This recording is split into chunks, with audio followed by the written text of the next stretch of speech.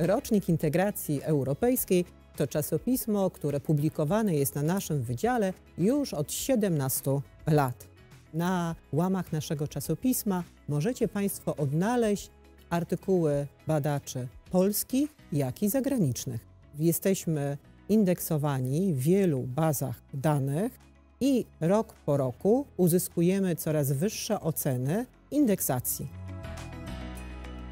Tematyka jest różnorodna. Dotyczy zagadnień związanych z integracją europejską, ale zarówno w takich obszarach jak prawo, bezpieczeństwo, ekonomia czy kultura.